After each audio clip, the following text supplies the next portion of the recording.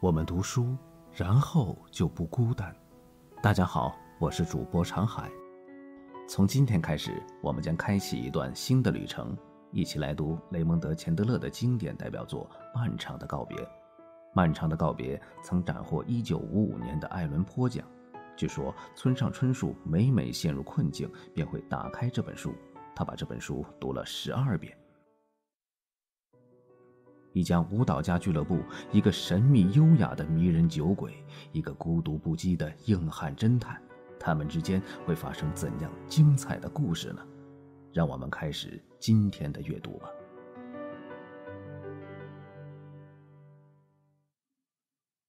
我第一次瞅见特里莱诺克斯是在舞蹈家俱乐部的露台外，他喝醉了，坐在一辆劳斯莱斯银魂里。停车场的服务员把车开了出来。此刻依然扶着车门，因为特里莱诺克斯的左脚悬在车外，就好像他忘了自己还有一只左脚。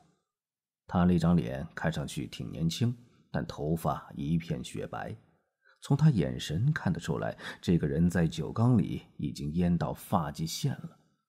不过除此之外，他就是一个身穿晚礼服的大好青年，刚刚在一个只为让你乱花钱而存在的地方花了太多的钱。他身旁有个姑娘，头发是可爱的暗红色，嘴角挂着冷漠的笑容，肩膀上披着蓝色貂皮大衣，衬托之下险些让劳斯莱斯变成一辆普通轿车。只是险些，其实不可能。服务生是个常见的混不吝角色，白色外套的前襟上用红线绣着场所的名字。他等得越来越不耐烦了。我说呀，先生。他说的话里带刺。你要是不介意，能不能把腿收进去，好让我关上车门？还是要我一开到底？您干脆掉出来算了。姑娘瞪他的眼神能刺穿他，再从背后抽出至少四英寸来，然而并不足以让他动摇。你觉得花大价钱打高尔夫球能磨练气性，但舞蹈家俱乐部有一帮人专门帮你戳破幻觉。姑娘忽然对白发小伙子开口，魅力喷薄而出。我有个了不起的好主意，亲爱的，咱们不如叫出租车去你家，开你的敞篷车出来，怎么样？多么美好的夜晚，正适合沿着海岸一路开到蒙蒂塞托。我有些熟人正在那儿开泳池舞会。白发小伙子彬彬有礼的答道：“实在非常抱歉，但那辆车……”已经不在我手上了，我不得不卖掉它。就声音和口齿而言，你会觉得他灌了一肚子的东西，不会比橙汁更烈。卖了，亲爱的，卖了是什么意思？他顺着座位从他身旁退开，但声音滑得要比那点距离远得多。意思是我非卖不可，他说，否则就没钱吃饭了。哦，我懂了。这会儿，一片意式冰激凌含在他嘴里都不会融化。白外套松开手，车门完全打开，醉鬼立刻滑下座位，一屁股坐在柏油路面上。我从背后把手伸到他腋下，拉着他站了起来。实在是感激不尽，他很有礼貌地说：“谢谢你拉他起来，我还有个约会，已经迟到了。”说完。姑娘开走劳斯莱斯，右转，消失的无影无踪。我把醉鬼带回了我家。他醒了之后说，他叫特里奈洛克斯，住西木区的一套公寓，家里没有人等他。我开车送他回去。我离开时，他又是一番感谢，不过既不像是我为了他翻山越岭，也不像是什么事都没发生过。他有点虚弱，有点害羞，但礼貌的没话说。他站在敞开的门口，直到自动电梯上来，我进去为止。别的他或许没有，但礼貌他多的是。按理说，我有一副铁石心肠，但那家伙身上有些东西打动了我。我不知道究竟是什么，也许仅仅是白发、脸上的疤痕、清澈的嗓音和彬彬有礼的举止，也许这些就够了。我没有理由会再次见到他。正如那个姑娘所说，他只是一条走丢的狗。感恩节过后的那个星期，我再次见到了他。好莱坞大道的商店已经摆出了价钱虚高的圣诞破烂，报纸开始每天嚷嚷：“你要是不早点完成圣诞购物，会有多糟糕。”其实完不完成都一样糟糕，向来如此。离我办公室那幢楼还有三个街区，我看见一辆警车当街停车，车里有两个铜纽扣盯着商店橱窗旁人行道上的什么东西。这个什么东西就是特里奈洛克斯，或者说他本人剩下的一点东西，而且这一点东西怎么看都不太诱人。他朦朦胧胧地打量我，然后露出只有半边脸的微笑。之前是醉了，他低声说，这会儿好像只是有点没力气。他勉强站直，让我扶着他从人行道上的闲汉之间走到路旁。有辆出租车正在等客，我试了试车门，他先。司机说，用大拇指点了点前面的一辆出租车。他扭过头看见特里，只要他肯接这一单。他又说，有点急，我朋友不舒服，是吗？司机说，他可以换个地方不舒服。五块，我说，你给我笑的好看一点。那好吧。他说着，就把封面画着火星人的杂志插到后视镜后面。我打开车门，把特里奈诺克斯塞进去。巡逻车的黑影挡住了另一侧的车窗。一个灰发警察下车走过来，我绕过出租车迎了上去。老弟，等一下，怎么回事？脏衣服里的这位先生是你的亲密朋友吗？亲密的足够让我知道他需要朋友。他没喝醉。肯定是为了钱吧？警察说。他伸出手，我掏出执照放了上去。他看了看，还给我。哦，他说，一位私家侦探捡了个客人。他的语气变得强硬。但是，马洛先生，执照上只有你的一丁点信息。他呢？他叫特里南诺克斯，从事电影业。好极了。他把脑袋伸进出租车。盯着瘫在后排角落的特里，我得说他最近好像没工作。我得说他最近没在室内睡过觉。我甚至得说他是个无业游民。我们似乎应该送他进去。你们的逮捕记录没那么低吧？我说，毕竟是好莱坞嘛。他继续盯着特里看。哎，哥们儿，你这位朋友叫什么？菲利普·马洛。特里慢悠悠地说：“家住月桂山谷的斯兰大道。圣诞节前三天，我收到一张拉斯维加斯某家银行的支票，金额是一百美元，附带的字条写在旅馆的信笺上。特里感谢我，祝我圣诞快乐，拥有各种各样的好运，说他希望能很快再次见到我。精彩的在复原里。”西尔维亚和我开始度第二次蜜月了。他说：“请别生他的气，因为他还想再努力一下。”我在报纸社交版的一个势利眼专栏里知道了其他细节。我很少读这种专栏，只有找不到可以讨厌的东西的时候才拿来看看。专栏上说：“亲爱的读者。”本报通讯记者惊喜获悉，特里与西尔维亚·奈洛克斯在拉斯维加斯破镜重圆。大家都知道，西尔维亚是加入圣弗朗西斯科和原石滩两地的百万富翁哈兰波特的小女儿。西尔维亚聘请马塞尔和让纳杜赫翻修他们在恩奇诺的豪宅，从地下室到屋顶，以最具爆炸性的时髦风格重新装潢。我亲爱的读者，你们或许还记得，这个十八个房间的小窝棚是西尔维亚倒数第二任丈夫科特维斯特海姆送给她的结婚礼物。你们是不是想问科特后来去哪儿了呢？想知道吗？答案在圣特罗佩，而且我听说是永久定居。我更喜欢以前的他，醉醺醺的，穷困潦倒，饿肚子，沮丧，但有尊严。不过，我真的喜欢吗？也许我只是喜欢高高在上。我猜不透他做事情的理由。在我这个行当，有些时候你该提问，有些时候你该由着小火慢炖，直到他自己爆发。优秀的警察都知道这个道理。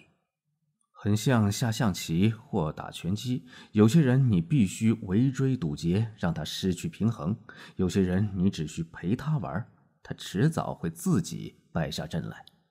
要是我问他，他会说出他的人生故事，但我连他的脸怎么会伤成那样都没问过。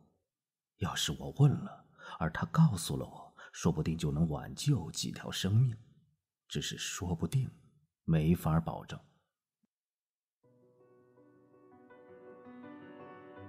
读到这里，大家会发现钱德勒是一个在不动声色中玩转幽默的大师。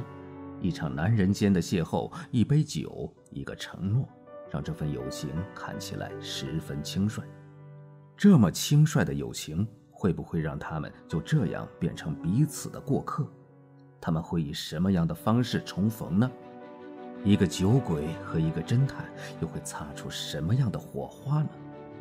让我们期待明天的阅读。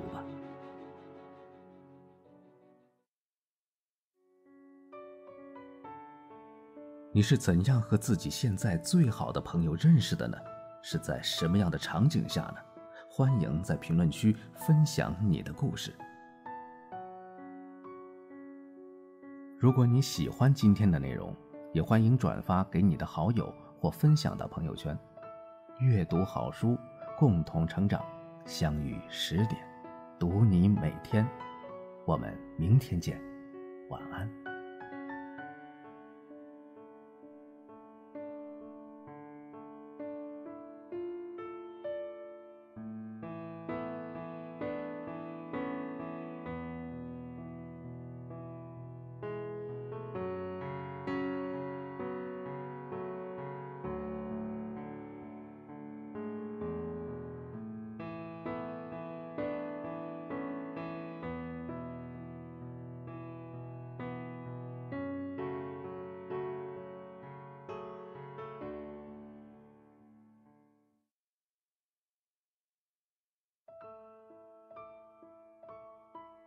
我们读书，然后就不孤单。大家好，我是主播长海。今天我们继续阅读雷蒙德·钱德勒的作品《漫长的告别》。昨天我们读到了马洛和特里的初次相遇，以及他们相遇后又分开的故事。接下来，马洛和特里会怎样重逢呢？他们重逢后又发生了什么故事？让我们开始今天的阅读吧。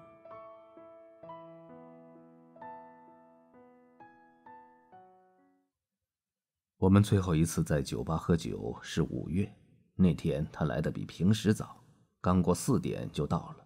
他看上去很累，瘦了不少，但他环顾四周的时候，脸上慢慢浮现出愉快的笑容。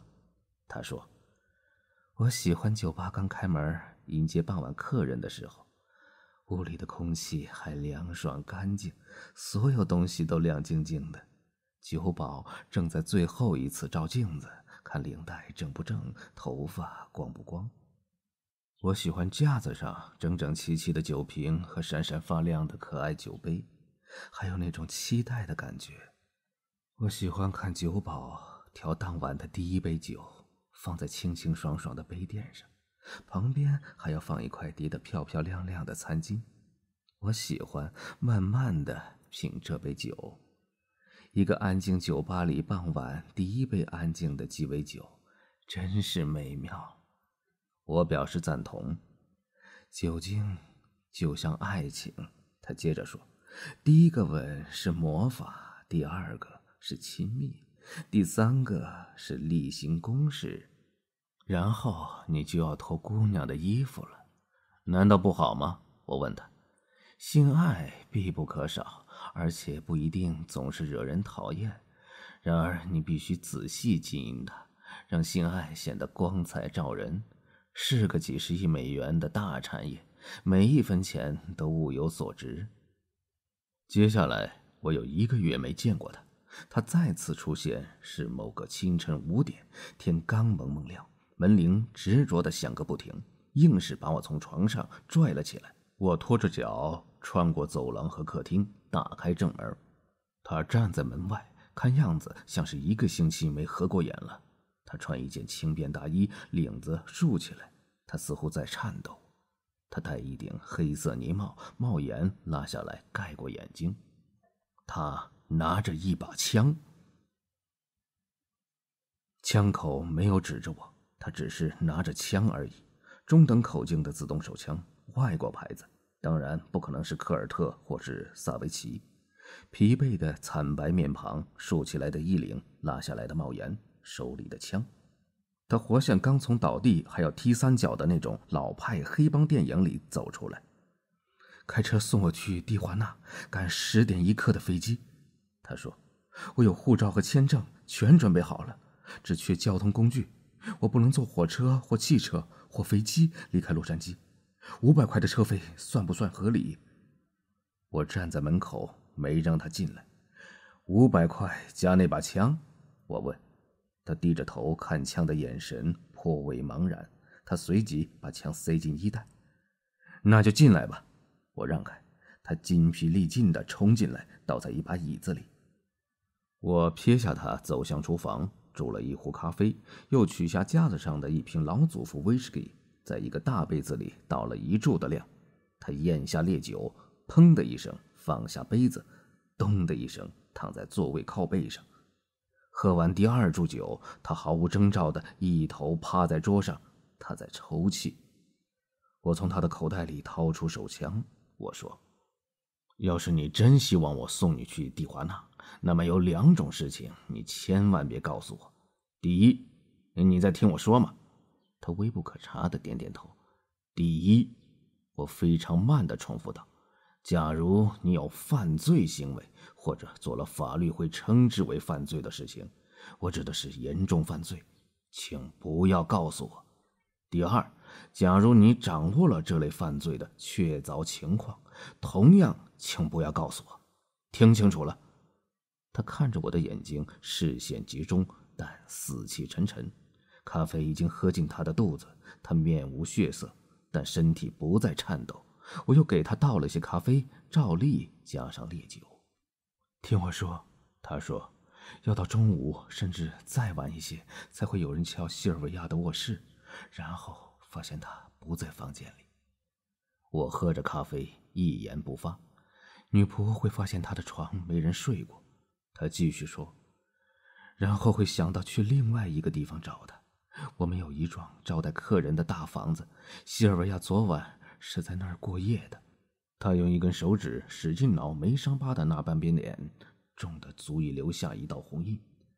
在客人房，他慢慢继续道：“女仆会发现，西尔维亚醉得昏死过去，动弹不得，醉得不省人事，连眼皮都冻住了。”我厉声打断他的话：“我知道西尔维亚已经死了。”我起身靠在水槽上：“咱们理一理思路，你别打断我。”今天清晨你来找我，情绪非常激动，要我开车送你去蒂华纳赶早班飞机。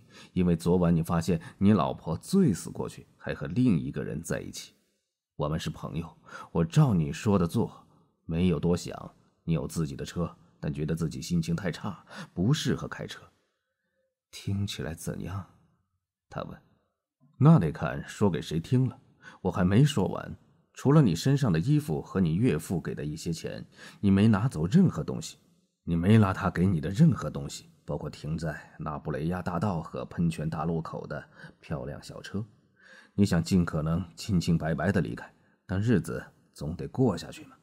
很好，我买账。现在让我刮脸换衣服。他走了，我望着他穿过办公楼的侧门，海关人员会守在那儿。他没有朝我示意或挥手，我也没有。他爬上舷梯，走进飞机，舷梯随即收回，飞机在背后掀起漫天的尘土，然后就起飞了。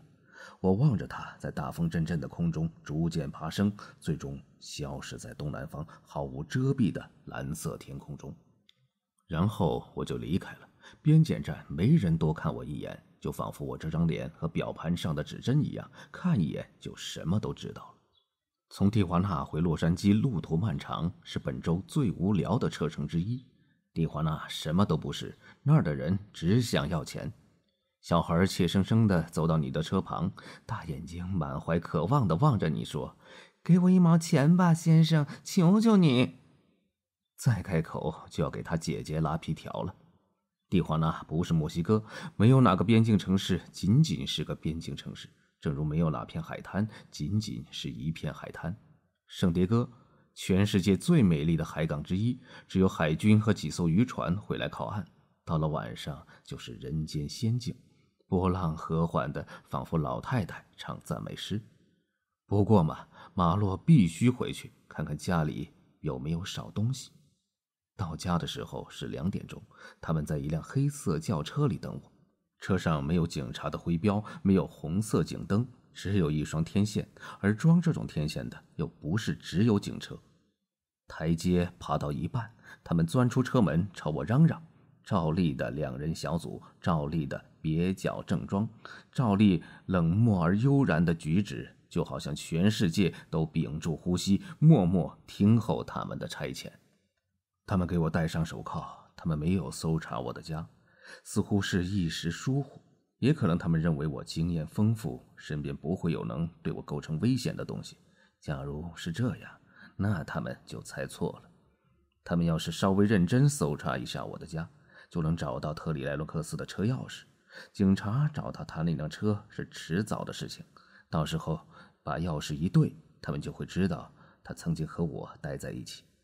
不过事实证明，这个想法毫无意义。警察再也没有找到那辆车，他在夜里某个时候被偷走了。窃贼很可能一路开着他去了埃尔帕索，配上新钥匙和伪造的文件，最后流入墨西哥城的市场。整套做法早就成了惯例，大部分赃款会以海洛因的形式流回美国。在黑道看来，这是睦林政策的一部分。他们还是重逢了，因为他们都是酒鬼，沉醉在美酒之中，却没想到这一次的相遇带着枪与逃亡。马洛毫不犹豫地帮助了好朋友，谁让他与这个朋友这样的投缘？好朋友就这样逃走了，留下警觉的马洛，他会怎么办？讲义气的马洛会不会受到制裁？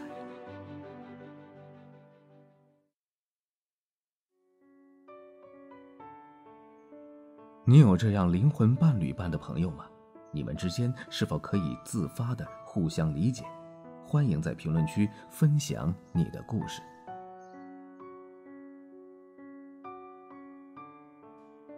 如果你喜欢今天的内容，也欢迎转发给你的好友或分享到朋友圈。阅读好书，共同成长。相遇十点，读你每天。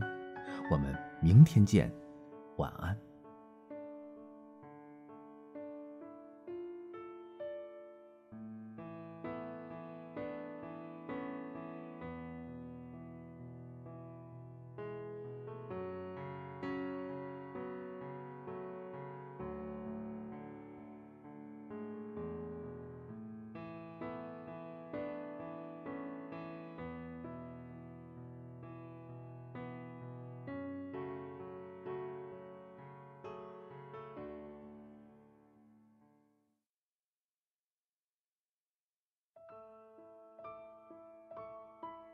我们读书，然后就不孤单。大家好，我是主播长海。昨天我们看到了马洛和特里那不需要多少言语就互相信任的友情，他们的相逢却不同于以往的相逢。接下来，现实总归需要面对的。特里逃离了，那留下来的马洛会怎样呢？在监狱，在牢房，他们之间又会发生怎样的故事呢？让我们开始今天的阅读吧。那年，凶杀科的老大是个叫格里高利的警监。他这种铜纽扣如今越来越稀有，但绝对没有灭绝。他这种人破案靠的是强光灯、胶皮棒、脚踹后腰、膝撞腹股沟、拳打心口、警棍戳尾椎。六个月后，他受指控在大陪审团前作伪证，于是未经审判就被一脚踢出警队。后来在怀俄明州自家牧场被一匹雄壮大马活活踩死。然而此刻我是他砧板上的肉。他坐在办公桌前，脱掉了外衣，袖子挽得都快到肩膀了。他秃得像块砖头，腰上正在长肥膘，肌肉结实的男人到了中年都会这样。他的眼睛是死鱼那种灰色，他的大鼻子上破裂的毛细血管纵横交错。他在喝咖啡，响动可不小。他粗壮的双手的手背上汗毛浓密，几撮灰毛从他的耳朵里支棱出来。他玩着桌上的什么东西，眼睛望着格林。格林说：“头儿，我们只知道他什么都不肯说。电话号码带着我们找到他。他开车出去过，不肯说去哪儿了。他和莱诺克斯很熟，不肯说最后一次见到他是什么时候。以为自己是条硬汉。”格里高利淡然道：“坏毛病可以帮他改一改。”语气像是根本不在乎。他很可能确实不在乎，在他眼里，没人是条硬汉。关键是地检官在这个案子里闻到了很多头版头条，不能怪他。看看那姑娘的老爸是谁就知道了。我觉得咱们得为他抖擞抖擞这位朋友。格里高里的死鱼眼上下打量我。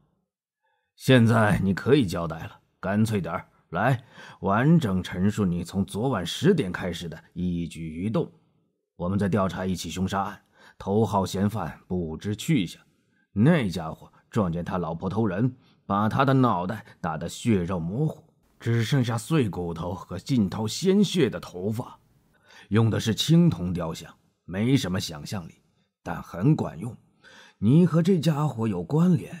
你可以说你没有，我可以不相信。但你连说没有都不肯说，你在我这儿连个屁也不是。开始吧。我说不准。我说，我需要法律方面的建议，我愿意配合。从地检署叫个人过来如何？他慢慢起身，凑近我，一只大手按着木头桌面，一拳打在我脖子侧面，拳头硬得像块铁，脸上的表情毫无变化。这一拳只挥动了八到十英寸的距离，顶多险些打掉我的脑袋。胆汁涌进我的嘴里，除了胆汁，我还尝到了鲜血的味道。我什么都听不见了，只觉得脑袋嗡嗡作响。他低头看着我，依然面带微笑，左手依然按着桌面。这时，桌上的电话响了。他听了一会儿，突如其来的震怒将他那张脸扭曲成阴沉的一团。他放下听筒，手有点颤抖。摘掉手铐，送他进县拘留所。格里高里慢吞吞地说：“谋杀嫌疑，地检署从我们手上抢走了案子。咱们有一套多么迷人的制度啊！”我正要出去，格里高利忽然吼道：“等一等，关上门！”格里高利以极慢的速度穿过房间，脚趾贴脚趾的站在我面前。连他一根汗毛都没碰过，他咬牙切齿道，像是在说给自己听。他的眼神很遥远，毫无感情色彩。他的嘴巴抽动了几下，然后他朝我脸上吐口水。他后退一步，这样就可以了，谢谢。他转身回到窗口，格林再次开门。我走出去，伸手掏手帕。中安区三号牢房有两个铺位，卧铺车那种上下铺。拘留所没有满员，这间牢房里只有我一个人。中安区的待遇不错，你有两条毛毯，既不脏也不干净。高低不平的床垫有两英寸厚，放在纵横交错的金属板条上。有抽水马桶、洗脸池、卫生纸和粗糙的灰色肥皂。牢房挺干净，没有消毒水的气味。活儿是模范犯人干的。模范犯人的资源非常充足，狱警上下打量你，眼神睿智。只要你不是醉鬼或精神病，或者表现的像这种人，你就可以保留火柴和香烟。你可以穿自己的衣服直到预审，然后你就必须穿囚服了，不能打领带，没有腰带和鞋带你可以坐在铺位上等着开庭，你没有其他事情可做。醉汉牢房的条件就没有这么好了，没有铺位。没有椅子，没有毛毯，什么都没有。你躺在水泥地上，你坐在马桶上，朝自己的大腿呕吐，那是倒霉的深渊，我见识过。天没黑，但天花板上的灯还是亮着。牢房铁门上有一扇用铁丝网罩着的窥视窗，电灯开关在铁门外，晚上九点准时熄灭，不会有人进来通知你。报纸或杂志上的一句话，你也许正读到一半，没有咔嗒声响或任何预兆，黑暗就那么突然降临。夏天的黎明到来前，你没有任何事可以做，只能睡觉。假如你睡得着，抽烟；假如你有烟可抽，思考；假如你有东西可以想，而想了不会让你比不想时心情更糟糕。要是抓不住莱洛克斯·恩迪科特先生，他们恐怕也不想知道他是怎么逃跑的，只会想以最快的速度忘掉这堆烂事。你全搞清楚了，对吧，马洛？是啊，媒体怎么还没来采访我？我准备在报纸上弄出很大一场动静，招揽许多生意。私家侦探宁可蹲耗子，也不愿意出卖朋友。他走到门口，抓住门把手，转过头来。你很会说笑话，马洛。你在许多方面非常幼稚。没错，一亿美元能买到海量的曝光，但是我的朋友若是运用得当，也能买到海量的沉默。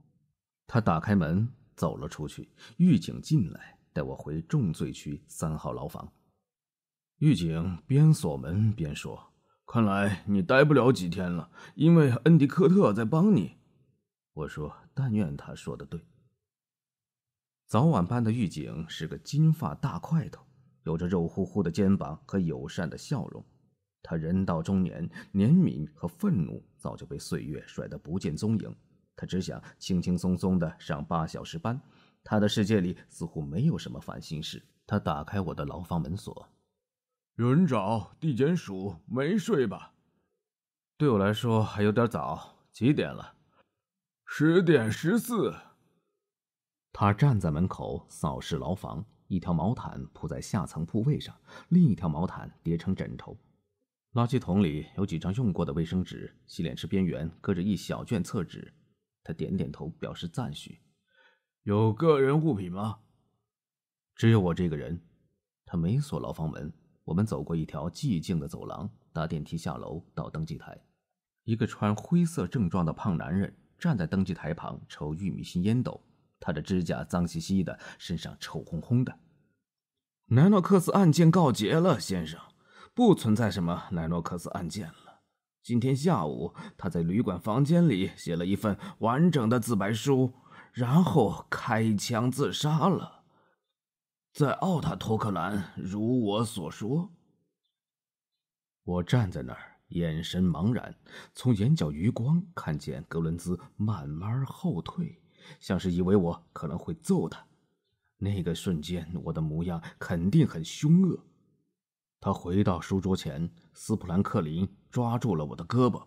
“来，走吧。”他用哀怨的声音说，“男人时不时也该回家过夜的。”我跟着他出去，关上门，关得很轻，像是房间里。刚死了人，本来就是侦探的马洛，面对警察的审问毫不畏惧，为了朋友守口如瓶。即使马洛再落魄，也做着自己想做的事，真是一个活得真实的硬汉。没想到却得到好朋友自杀的消息。马洛辛苦维护没保住的特里死了，作为好朋友，马洛会去哪儿？这个案件他会再不过问，还是奋勇追求真相呢？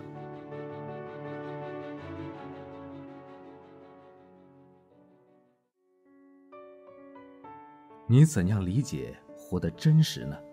面对有时不那么美好的世界，你是否能够做到不放弃对正义的坚持？欢迎在评论区分享你的故事。如果你喜欢今天的内容，也欢迎转发给你的好友或分享到朋友圈。阅读好书，共同成长。相遇十点，读你每天。我们明天见，晚安。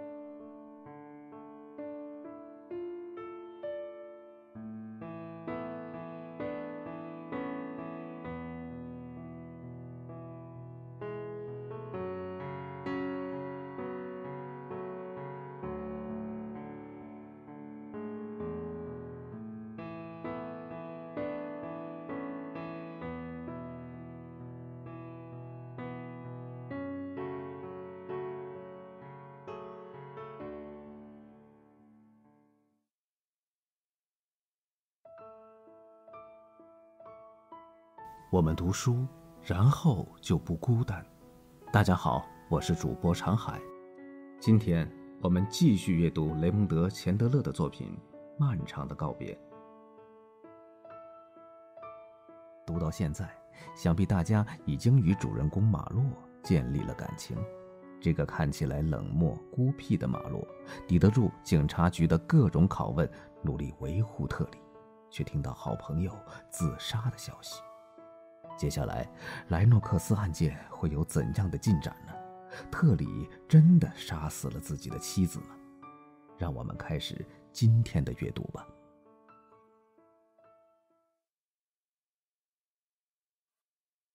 我翻出物品清单的复写件交进去，在原件上签字领东西。我把我的物品放回口袋里。有个男人。懒洋洋的倚在登记台的另一头，我转过身，他直起腰对我说话。他身高约六英尺四，瘦的像一根铁丝。要搭车回家吗？我们走出那幢楼，在停车场找到他的车。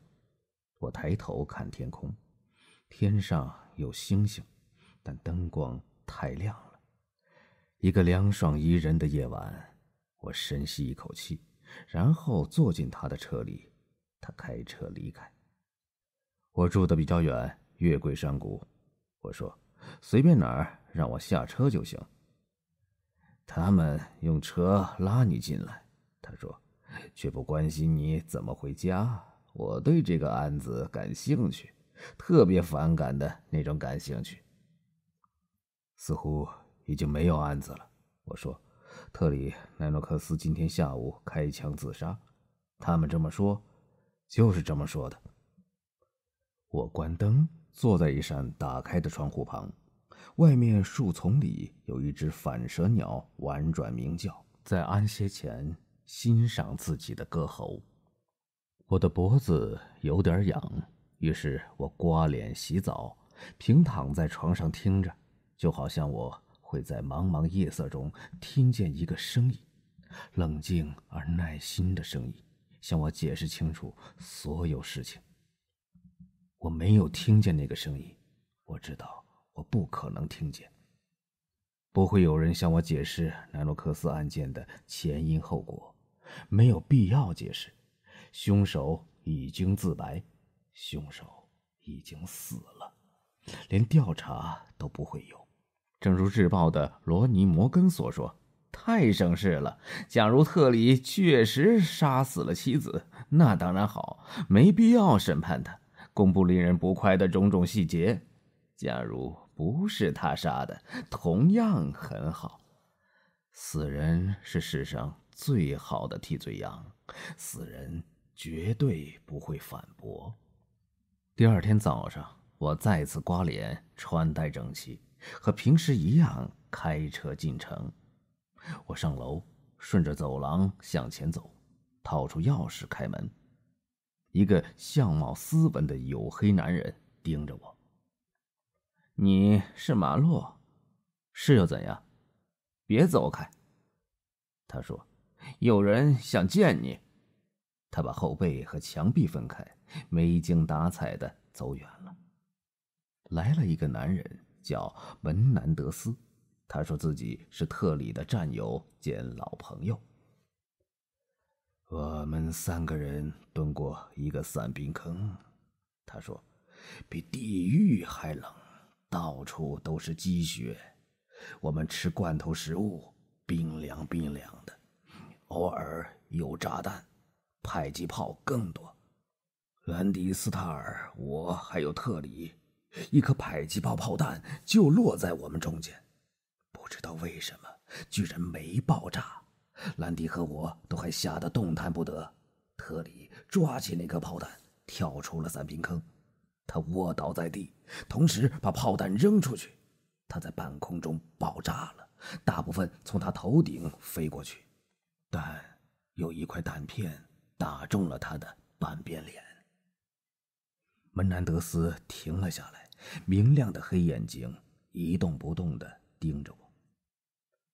谢谢你告诉我，我说，你倒是开得起玩笑，马洛。你挺地道。兰迪和我讨论过，我们觉得特里奈洛克斯遇到的那些事情，足够搞坏任何一个人的脑子。我们有好几年一直以为他死了，但他没有。德国佬俘虏了他，他们修理了他差不多一年半，活儿干得不错，但他被摧残的太厉害了。我们花了很多钱查明真相，又花了很多钱找到他。不过战后我们在黑市上挣了大钱，我们付得起。特里救了我们的命，得到的却只有半张好脸，一头白发和严重的神经症。他在东面成天喝酒，这儿那儿的被抓了许多次，整个人差不多都废了。他有心事，但我们一直不知道是什么。接下来，我们忽然听说他娶了那个有钱娘们儿，走了上坡路，然后和他离婚，又走下坡路，又和他结婚，最后他死了。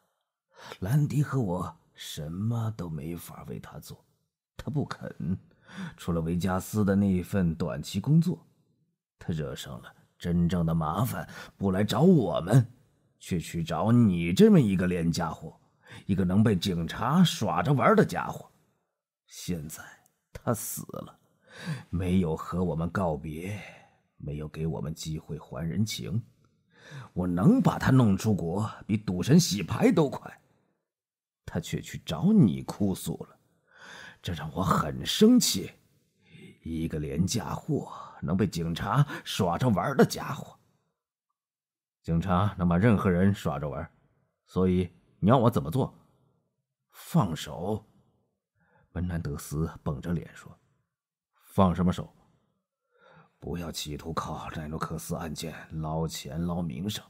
事情结束了，板上钉钉，特里死了，我们不希望他再被打扰。”他吃的苦已经够多了。一个有情怀的流氓，我说，笑死我了。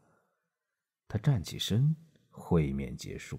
他拿起手套，雪白的猪皮手套，新的像是从没被戴。衣冠楚楚的那种人，门南德斯先生，但表面伪装之下是个暴虐的男人。接下来的三天，平安无事。没有人朝我挥拳头或开枪，没有人打电话给我警告我别多管闲事，没人顾我找离家出走的女儿、偷人的老婆、丢失的珍珠项链、不翼而飞的遗嘱。我傻坐在椅子里看墙。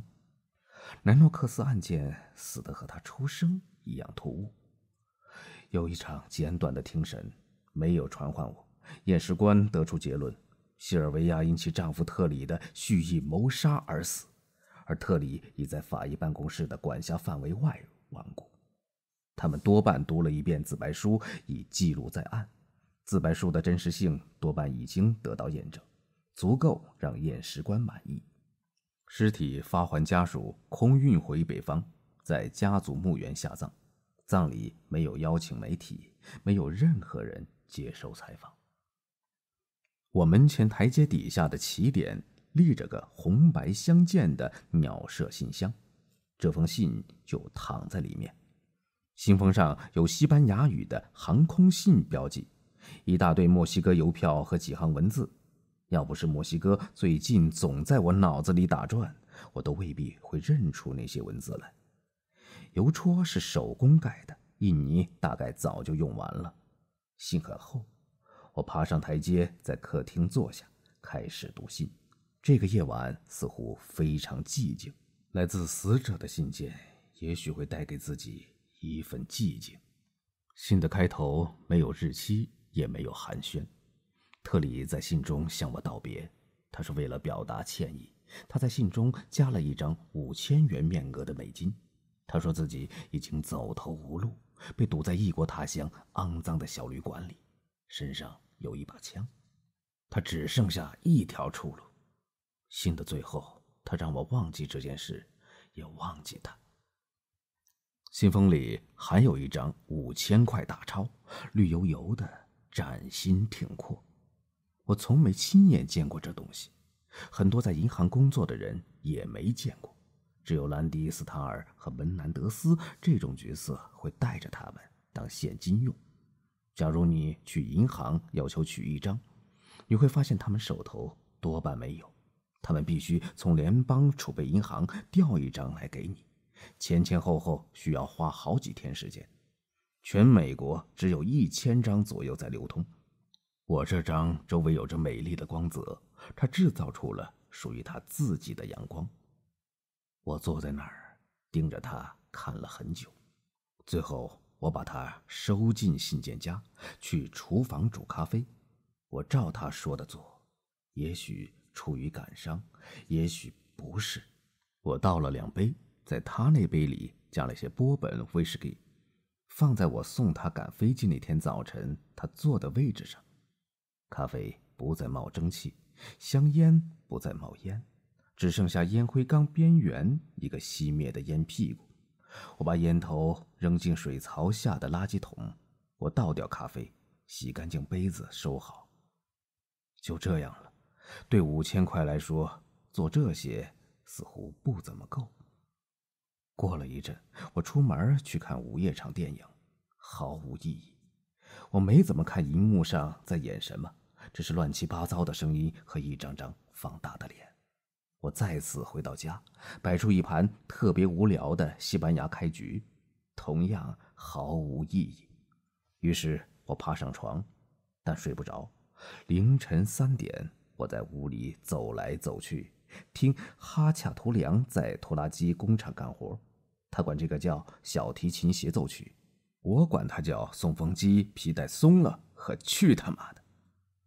不眠之夜对我来说和肥胖的邮递员一样罕见。要不是还得去利兹贝弗利见斯潘塞先生，我会喝光一瓶酒，醉个不省人事。下次再见到彬彬有礼的醉汉坐在劳斯莱斯银魂里，我保证就地解体，飞快地朝好几个方向逃跑。最致命的陷阱莫过于你为自己设下的陷阱。别看这个硬汉总是冷漠，他的内心其实十分柔软。他发现了特里和妻子的关系扑朔迷离，一封莫名的信件勾起了马洛的好奇心。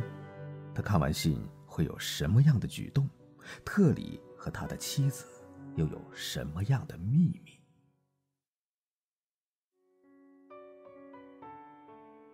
你觉得自己是一个冷静孤僻的人吗？在孤独的城市里，你是否也在坚持寻找某样东西？在他追寻的过程中，是否也曾纠缠到各种复杂的情景中？欢迎在评论区分享你的故事。如果你喜欢今天的内容，也欢迎转发给你的好友或分享到朋友圈。阅读好书，共同成长。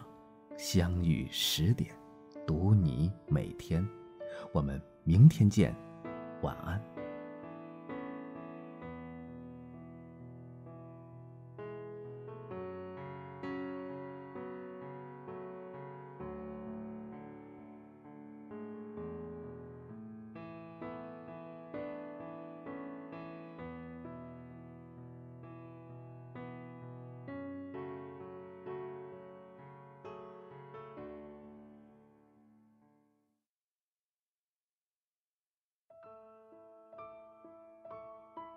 我们读书，然后就不孤单。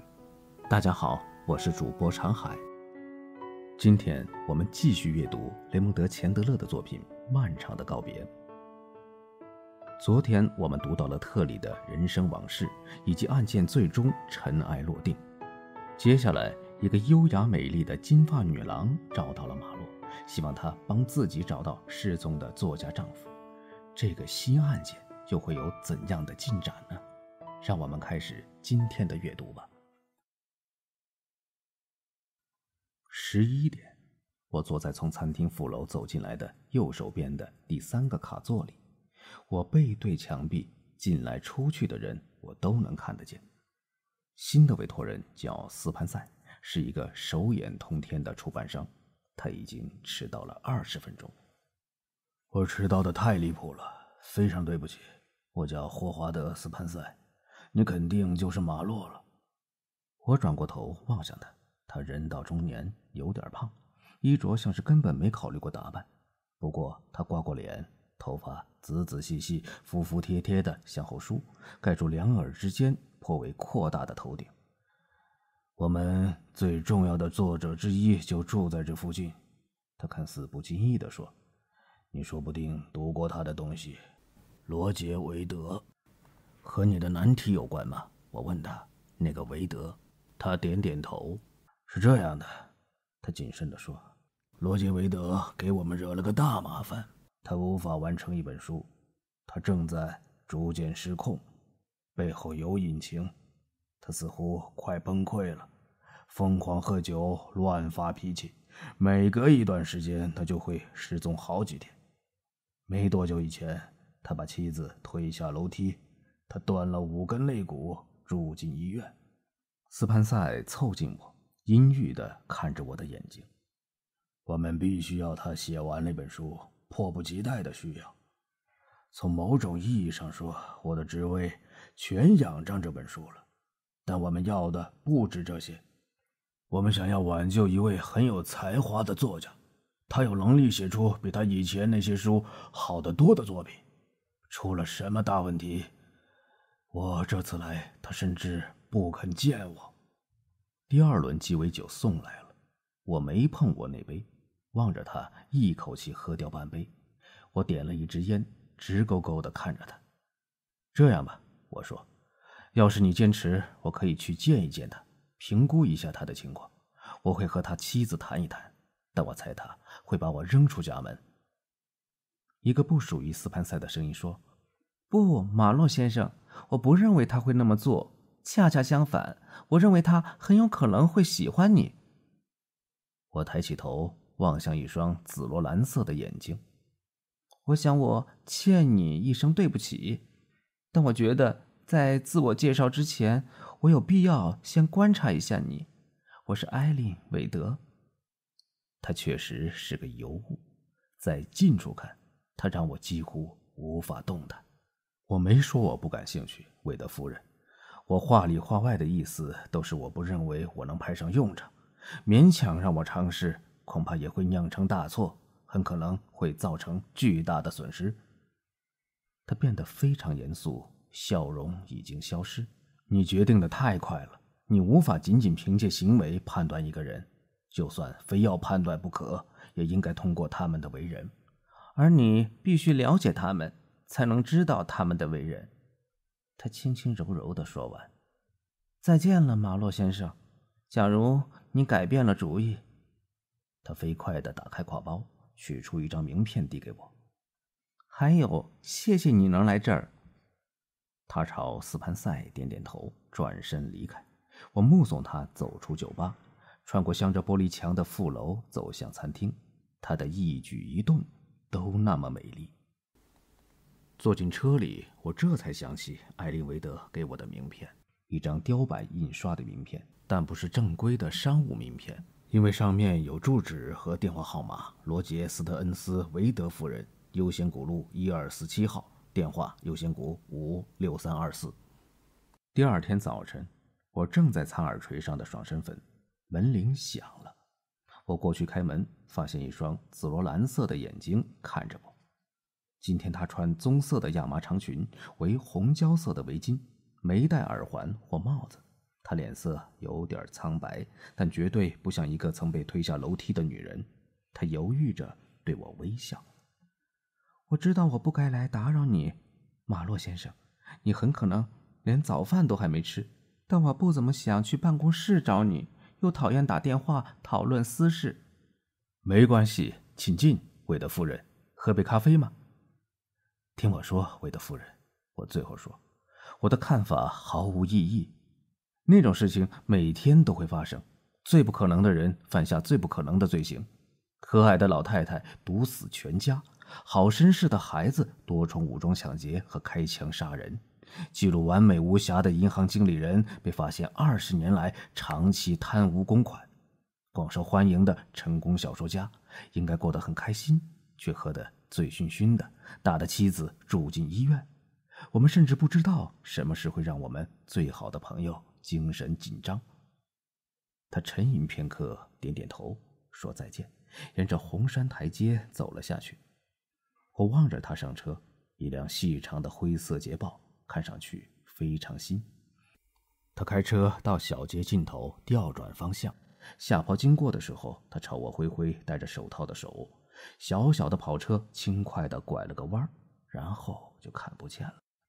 屋子正面墙边有一丛红色夹竹桃，我听见里面传来扑腾的声音，一只小反射鸟焦急地叽叽轻叫。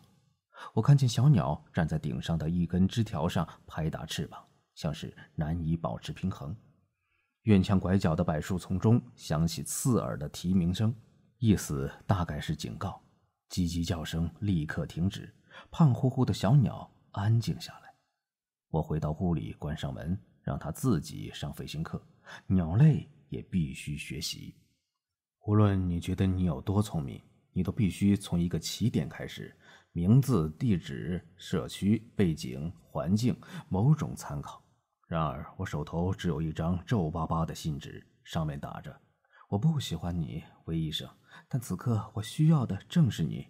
有了这个，我能把目标缩小到太平洋里。”辛辛苦苦花了一个月，查遍五六个县级医疗协会的成员名单，最后得到一个大大圆圆的零蛋。咱们这座城市，庸医滋生的比豚鼠还快。在真正的医生里，有些过得很好，有的穷得叮当响，有些讲医德，有些未必遵守得起。在跟不上维他命和抗生素发展的许多老混球眼中，富有的早期震颤性谵妄患者就等于天降财神。可是没有线索，我就无从下手。我没有线索，埃林维德不是没有，就是不知道他有。另外，就算我找到了符合条件而且名字缩写对得上的人，就罗杰维德而言，他也有可能仅仅是个神话人物。那两句话可能只是他泡进酒海时脑子里闪过的一个念头，就像他对于菲斯杰拉德的引用，或许仅仅是一种不落俗套的告别方式。遇到这种情况，小角色就只能借用大人物的脑子了。于是我打电话给我认识的一个人，他在卡恩机构工作，这个浮华的事务所开在贝弗利山，专精于保护有钱有势的富豪。我认识的这个人叫乔治·彼得斯。他说：“要是我能长话短说，他可以赐给我十分钟时间。”我说：“你这样真是让我心花怒放。”一分钟后，护墙板上打开了一扇门，彼得斯招招手，我走进了一条战舰灰色的走廊，左右两侧的小办公室怎么看都像是牢房。他的办公室天花板装着吸音隔板，有一张灰色不锈钢办公桌和两把配套的椅子，灰色的架子上。有一台灰色的录音机，电话和笔架与墙壁和地板是同一个颜色。墙上有两张带框的照片，一张是卡恩身穿制服，头戴雪莲花头盔；一张里的卡恩平民打扮，坐在办公桌前，一脸高深莫测。墙上还有一个木框，铁灰色字母的励志名言印在灰色背景上。这句话说的是：无论何时何地。卡恩机构的探员都以绅士标准规范言行，此规则概无例外。让人神魂颠倒的金发女郎，正是新案件的委托人。她让马洛寻找自己的丈夫，线索便是那张信纸。马洛觉得自己要从卡恩机构寻找蛛丝马迹。维德夫人是这一连串谋杀的关键线索吗？马洛从卡恩机构是否获得了有用的关键信息？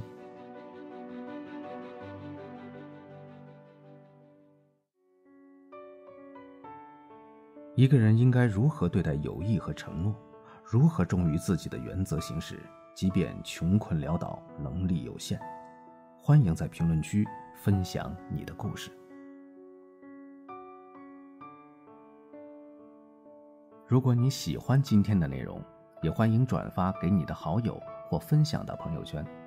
阅读好书，共同成长。相遇十点，读你每天。我们明天见，晚安。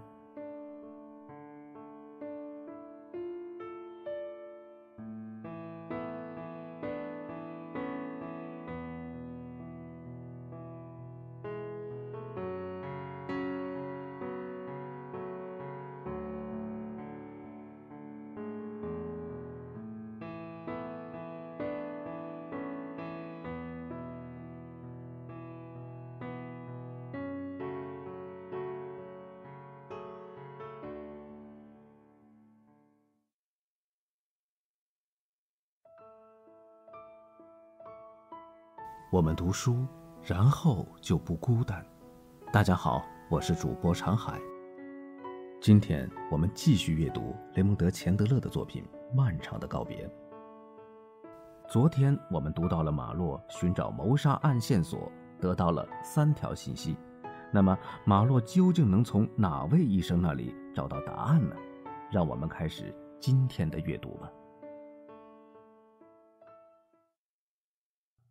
塞普尔维达山谷底部有两根方形黄色门柱，一根门柱上挂着一扇五根铁栏杆的大门，门开着，上方用铁丝悬着一个告示牌：“私家道路，非请勿入。”空气暖烘烘的，很安静，充满桉树犹如公猫发情的骚味。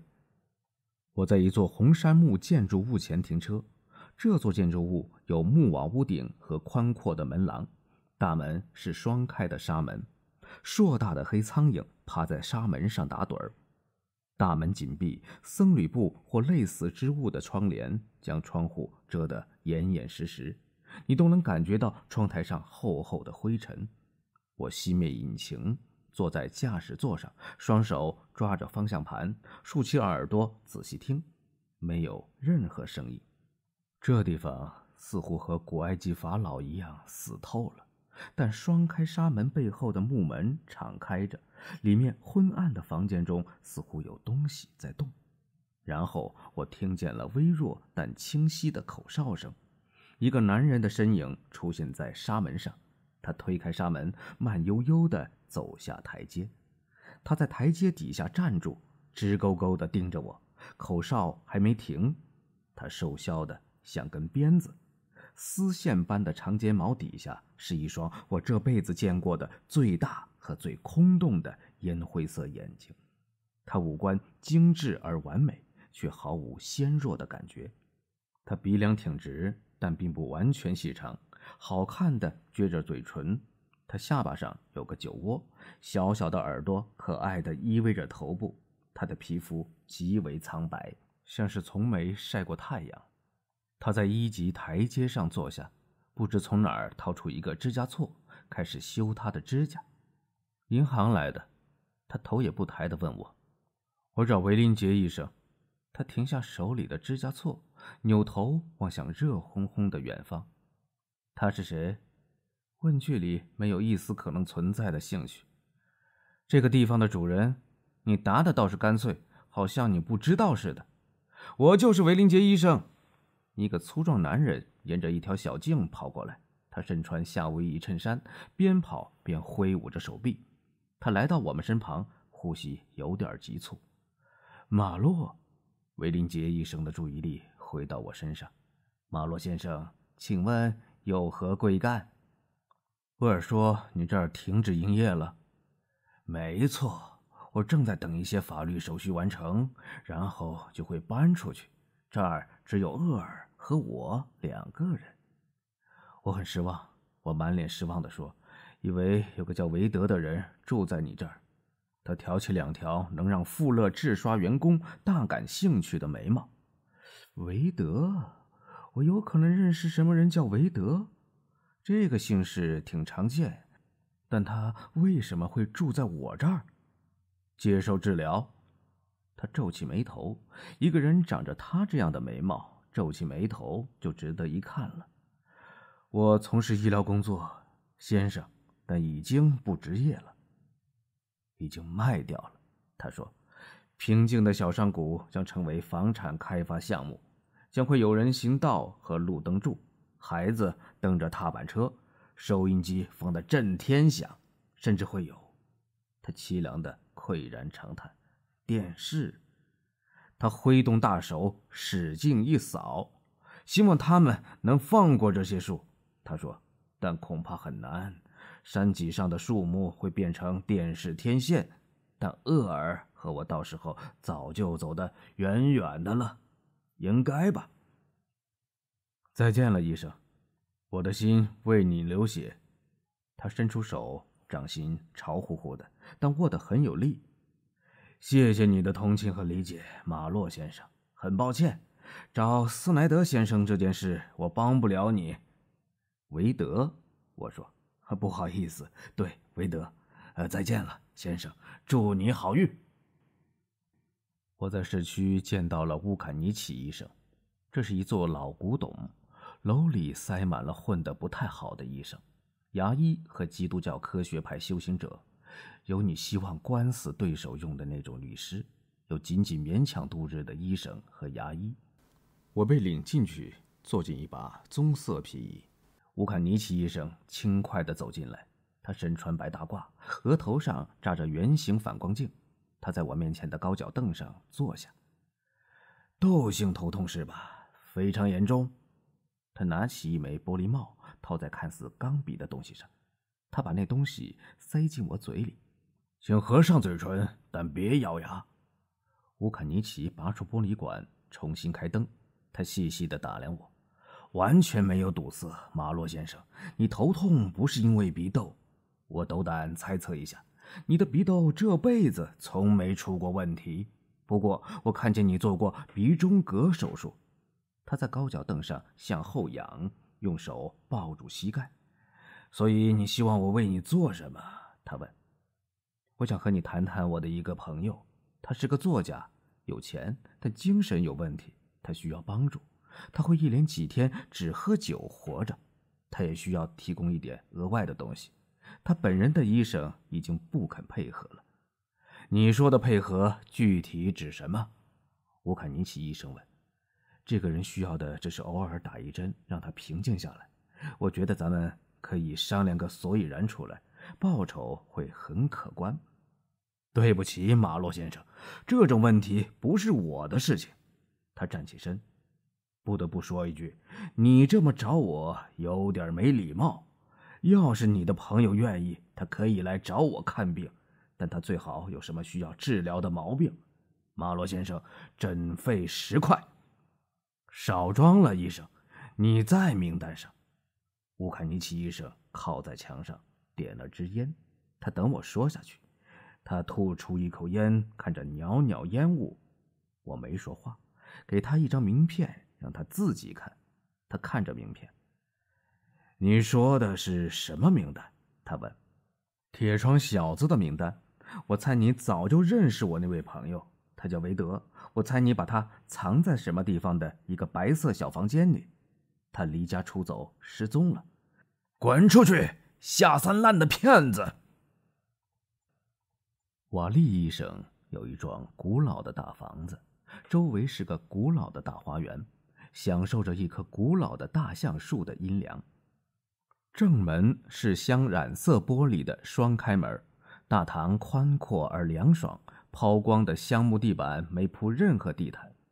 阿尔塔迪纳夏季炎热。这地方紧贴丘陵，风直接从顶上吹过去。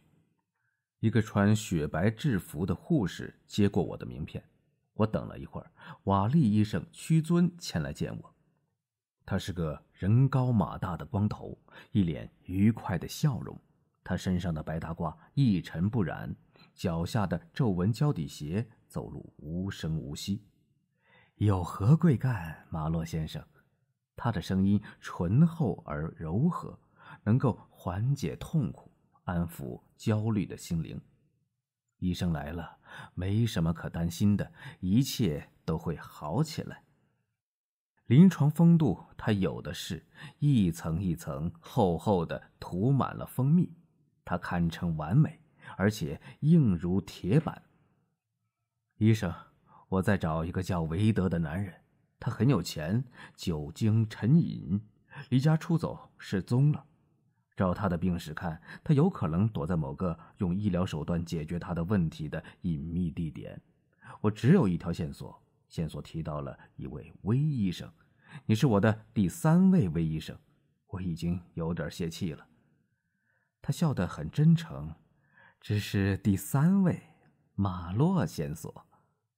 洛杉矶市里市外该有一百位医生的名字以“ V ”开始。我越来越生气了，瓦利医生说：“清淡的食物，少量的镇定剂，寸步不离的监管，推他们出去晒太阳，推他们回去上床。部分窗户装上铁栏杆，免得还剩下一点精神火苗没扑灭。他们爱你，医生，毫无例外。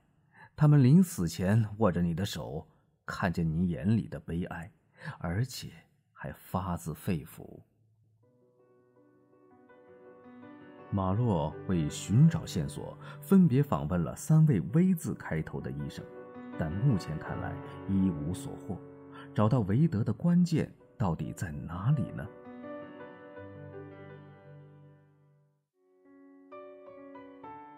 你印象最深刻的医生是哪位医生？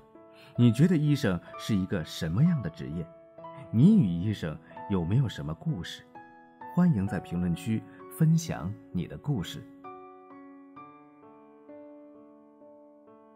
如果你喜欢今天的内容，也欢迎转发给你的好友或分享到朋友圈。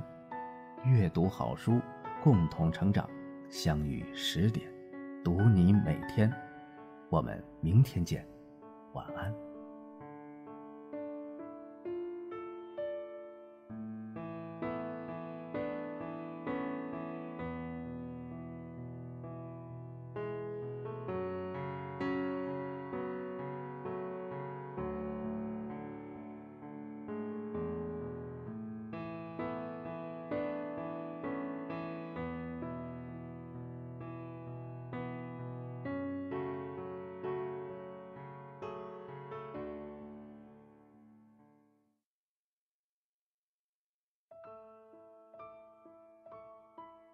我们读书，然后就不孤单。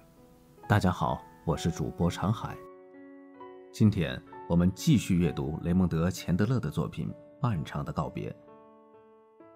昨天我们读到了马洛为寻找线索来到了塞普尔维达山谷以及瓦利医生的医院。接下来，马洛从瓦利医生这里可以获得有用的线索吗？韦德和乌坎尼奇究竟是怎样的关系呢？让我们开始今天的阅读吧。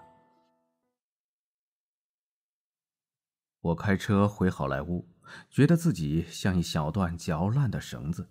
吃饭还太早，天气又太热。我打开办公室的电扇，空气没有因此变得凉爽，只是稍微有了点生机。外面大街上的车流喧嚣不已，我脑袋里的思绪粘成了一团，就像捕蝇纸上的苍蝇。三发三不中，我忙活来忙活去，只是见了太多的医生。我打电话到维德家，接电话的是个墨西哥口音，说维德夫人不在家。我说：“维德先生呢？”那头说：“维德先生也不在家。”我留下我的名字，他似乎毫不费力的就记住了。他说他是男仆。我打给卡恩机构找乔治彼得斯，他说不定还认识别的医生。他不在，我留下假名字和真号码。一个小时慢吞吞地爬过去，活像一只生病的蟑螂。我是被遗忘的沙漠里的一粒黄沙，我是打光了子弹的双枪牛仔。三发三不中，我最讨厌坏事成三了。你打给 A 先生没结果，打给 B 先生没结果，打给 C 先生还是没结果。一个星期后，你发现你该打给 D 先生，但当时你不知道有这个人。而当你发现他的存在，客户已经改变主意，终止调查了。乌坎尼奇和瓦利可以划掉。瓦利太有钱，不会去沾酗酒病人。乌坎尼奇是个下三滥、铤而走险的江湖医生，居然在自己的办公室里给自己扎针。韦德大概不是全世界最聪明的人，许多成功人士离思想巨人还差得远呢。但他也不至于蠢到和乌坎尼奇搅和到一起去。唯一有可能的是维林杰医生，他有合适的空间和幽静的环境，多半也有足够的耐心。这次我带上了枪和三节电池的手电筒，枪是难缠的短管点三二小左轮，装平头子弹。今天夜里没有月亮。等我到了维林杰那片土地的入口，天色肯定已经全黑了。铁链和挂锁依然把大门锁得紧紧的。我翻过大门，爬上山坡，寻找徒步小径。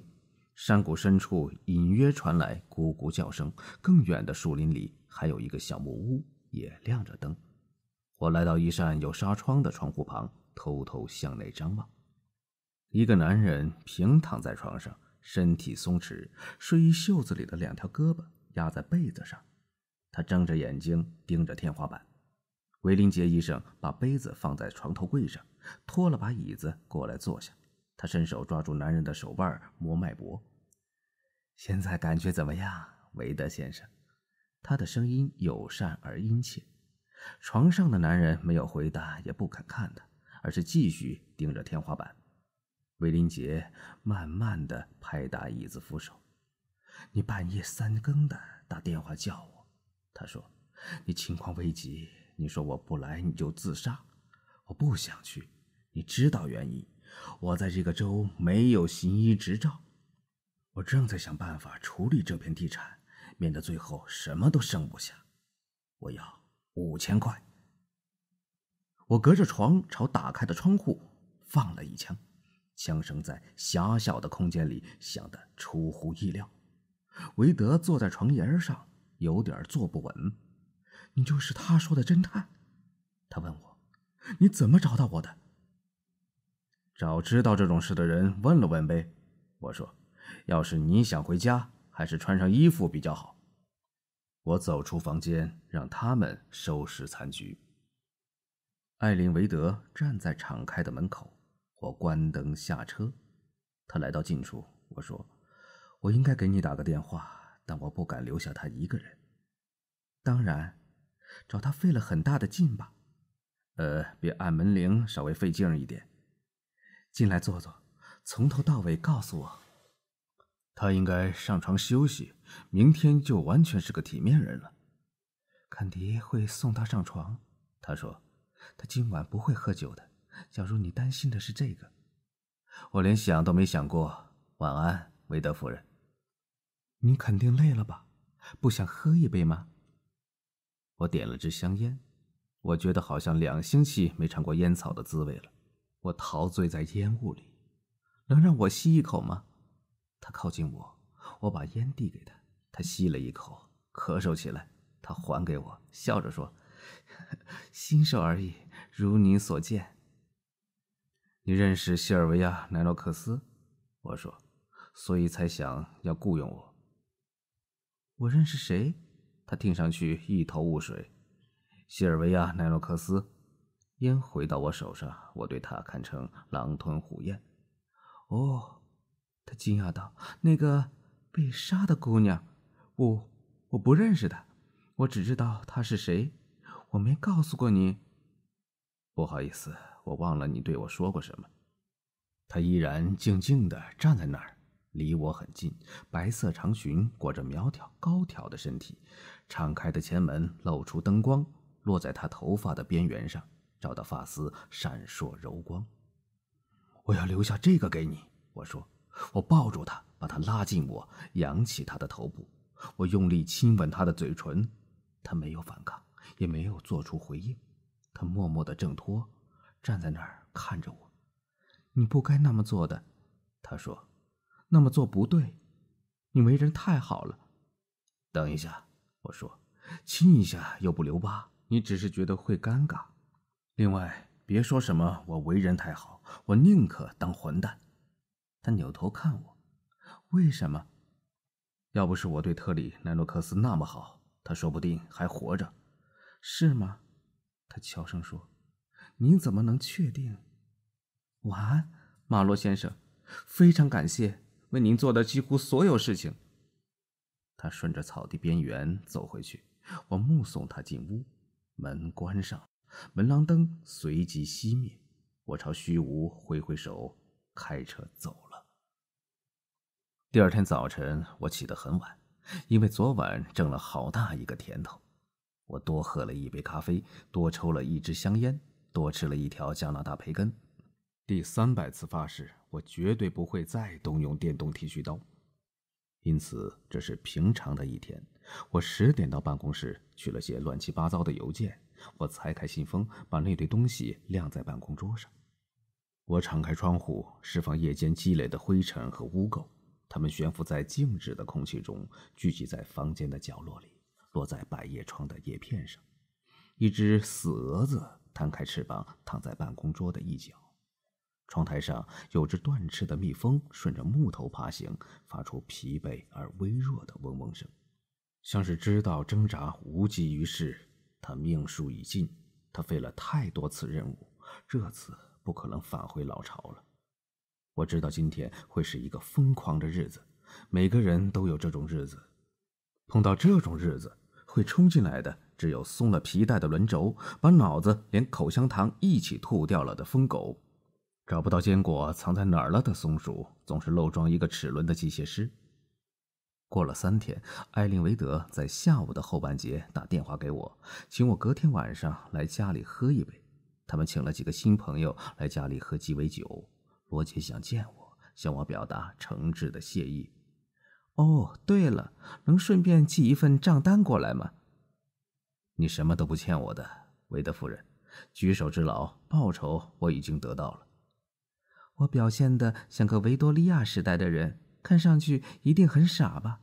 他说：“如今一个吻似乎什么也代表不了。你会来的，对吧？”应该吧，虽然理智叫我别去。罗杰又恢复过来了。他在工作，很好。你今天听上去特别庄重，你大概把人生看得很严肃吧？时不时就会这样。怎么了？他笑得非常轻柔，说再见，挂断电话。我坐了一会儿，严肃地看待人生，然后我努力想一点有趣的事儿，好让我捧腹大笑一场。两者都没有成功。于是我从保险箱里取出特里莱诺克斯的诀别信，重新读了一遍。这封信提醒了我，我还没有去维克多餐厅喝他请我为他喝的那杯螺丝起子。这会儿时间正好，酒吧应该很安静。要是他活着，能和我一起去喝一杯。他喜欢的就是这种氛围。想到他，我有点悲伤，还夹着一丝酸楚。来到维克多餐厅，我险些继续向前走，险些，但没有。我拿了他太多的钱，他愚弄了我，但为此付出了很多。马洛从维林杰一身处找到了韦德，在送韦德回家后，还强吻了艾莉。马洛重读了一遍特里的诀别信后，有点悲伤，他觉得自己被特里愚弄了。为什么呢？一起期待明天的故事吧。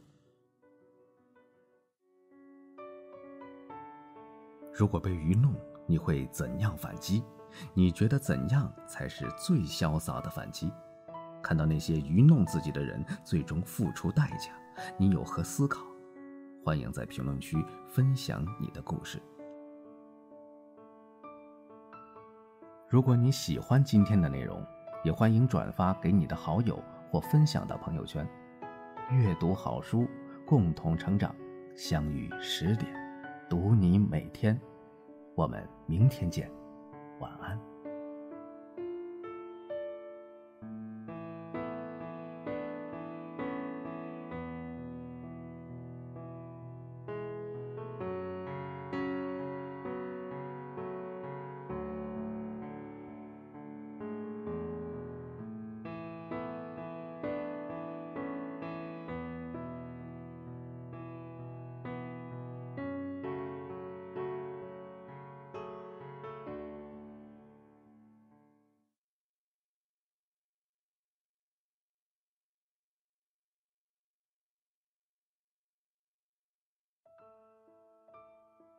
读书，然后就不孤单。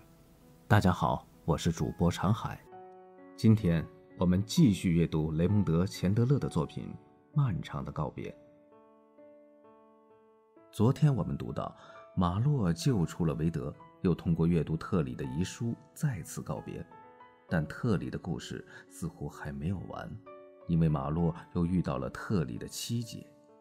让我们开始今天的阅读吧。维克多餐厅里安静极了，你进门时几乎能听见温度陡降的声音。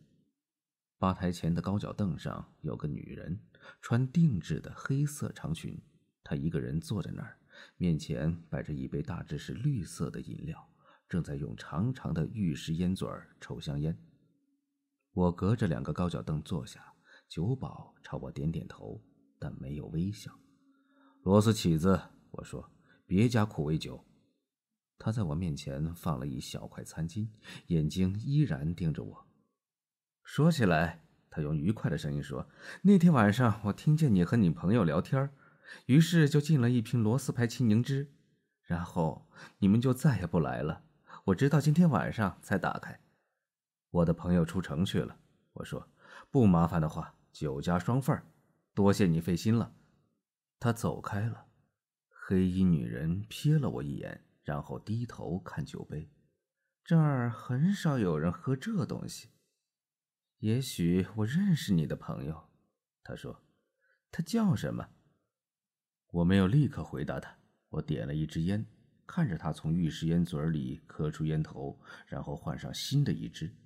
我伸手递上打火机。莱诺克斯，我答道。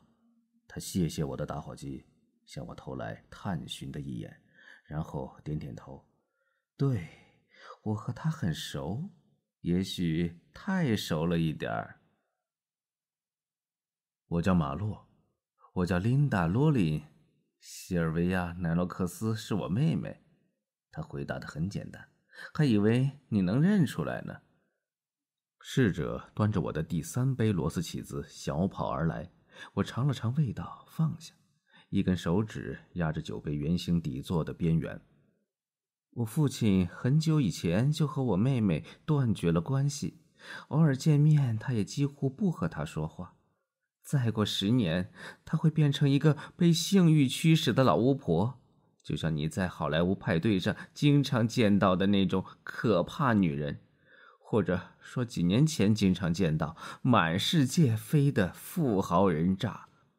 我忽然毫无理由的火冒三丈。我站起来，扫视其他卡座，隔壁一个空着，再过去一个有个男人独自坐着，安安静静的看书。我扑通一声坐下，把酒杯推到一旁，俯身越过小桌子。我还有足够的理性，压低声音说话：“老天在上。”罗琳夫人，你到底在卖什么关子？哦，让我告诉你我怎么想。西尔维亚死的那天晚上，特里和你老头子谈过。谈什么？你老头子对他说什么？逃到墨西哥吃自己一枪吧，小老弟。家丑不外扬。我知道我女儿是荡妇，十几个醉酒杂种里，随便哪个都有可能凶性大发。把她的漂亮脸蛋儿塞进他的喉咙眼儿，但那是偶然事件，小老弟。那家伙酒醒了会追悔莫及。你吃够了甜头，现在该你回报了。我们想让波特家的好名声像高山百合一样芬芳。她嫁给你是因为她需要一块遮羞布，她死了以后就更加需要了。而你就是这块遮羞布，要是你能跑掉，消失的无影无踪，那当然最好；但要是被人发现，就自我了断吧。咱们太平间再见。你肯定喝醉了，琳达·洛琳飞快地说，迈步走向大门。我只在黑暗中见过一次维德家，屋子白天看上去不如晚上大。车道上停满了车，于是我在路边停车，然后走了进去。穿白色燕尾服的墨西哥管家为我开门。他身材瘦削，是个整齐好看的墨西哥人，优雅的燕尾服很合身。他一看就是每周挣五十块的墨西哥人，不需要用辛苦劳作慢性自杀。艾琳·维德在我身旁冒了出来，她穿浅蓝色的某种礼服，反正肯定没有减损她的美貌。她拿着酒杯，但似乎仅仅是道具而已。非常高兴你能来，他郑重其事地说。罗杰想在书房见你，他讨厌鸡尾酒会，他在工作。吵成这样还能工作？吵闹似乎从来都影响不了他。坎迪可以帮你端酒，还是你更愿意自己去吧台？我自己去好了。我说，那天晚上对不起了。他微笑道：“你好像已经道过歉了，没关系。”去他的没关系。他的笑容又保持了一会儿，足够他点头转身走开。韦德平躺在一张金色皮沙发上，漂白木的宽大写字台上放着打字机，打字机旁是一摞黄色打字纸。老弟，来我这儿住一阵如何？你光是待在这儿就能帮我好大一个忙。韦德说：“我看不出怎么能帮你，但我看得出，只要待在这儿就行。一个月一千块能打动你吗？我喝醉了会很危险。”我不想变得危险，也不想喝醉，但我拦不住你。是三个月如何？等我写完这本该死的书，然后出远门待一阵，在瑞士山区找个地方住院，彻底戒酒。他走向房门，一把拉开，我们走了出去。他拉开门，嗡嗡声从客厅铺天盖地而来。虽说不太可能，但似乎比我进去前更吵了，大概多了两杯酒那么吵吧。韦德这儿那儿的和大家打招呼，人们似乎很高兴见到他，但喝到这个份上，他们看见痞子跑菲尔手持定制冰锥，大概也会很高兴。人生只是一场盛大的马戏表演。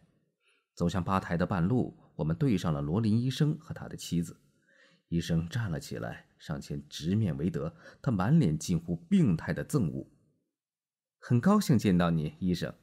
韦德亲切地说：“你好，琳达。最近你躲到哪儿去了？”“呃，不，这个问题好像傻乎乎的。我……”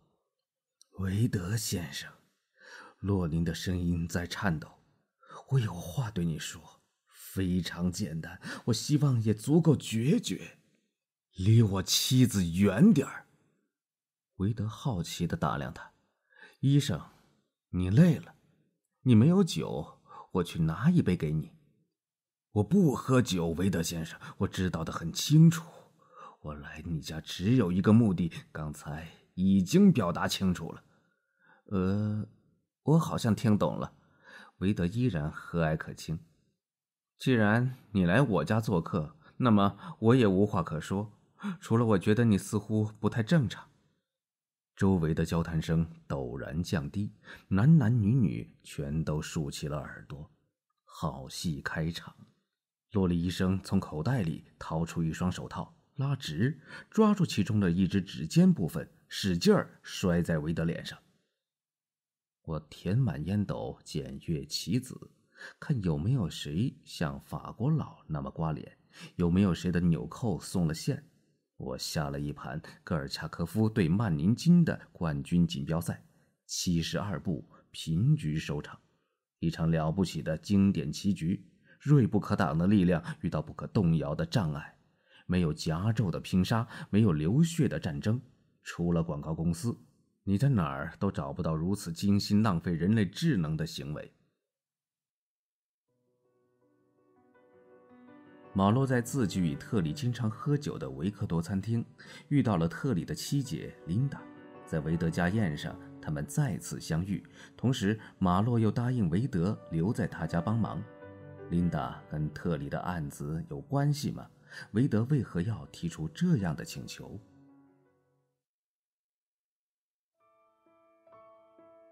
一个人的一生到底应该怎样度过最有价值？你最理想的人生状态？是怎样的呢？欢迎在评论区分享你的故事。如果你喜欢今天的内容，也欢迎转发给你的好友或分享到朋友圈。阅读好书，共同成长。相遇十点，读你每天。我们明天见，晚安。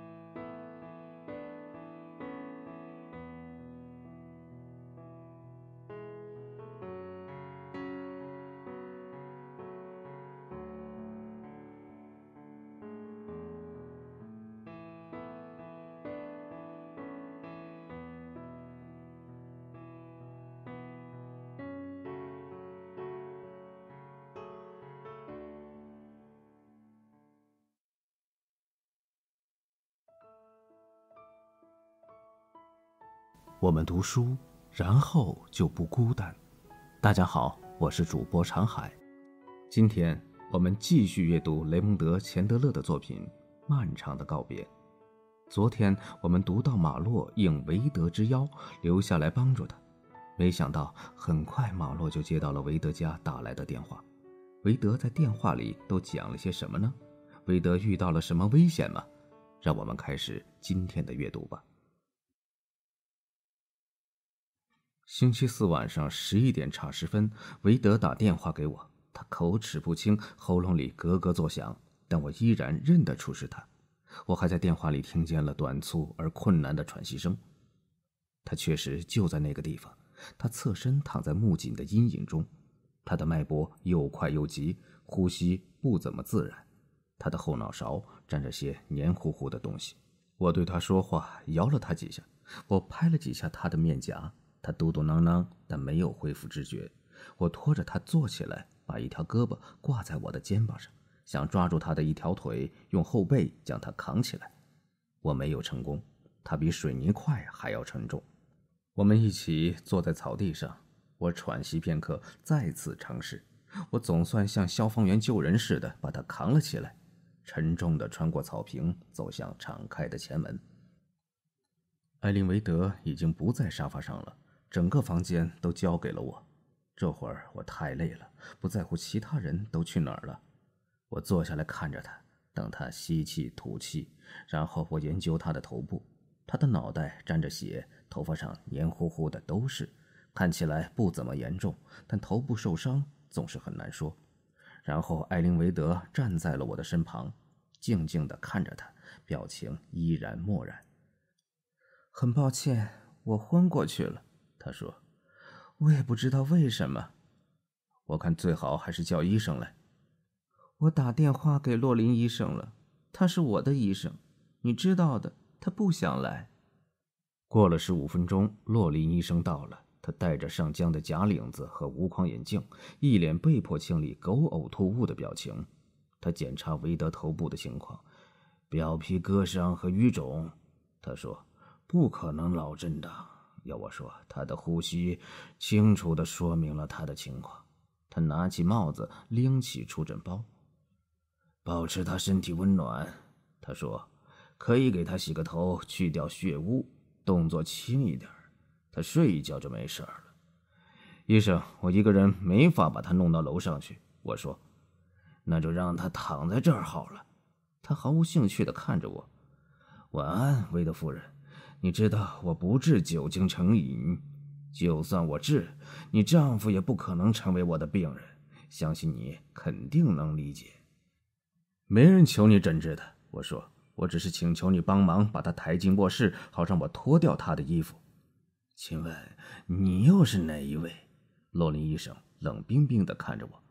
我叫马洛，一个星期前来过这儿。你妻子向你介绍过我，有意思。他说。你是怎么和我妻子搭上的？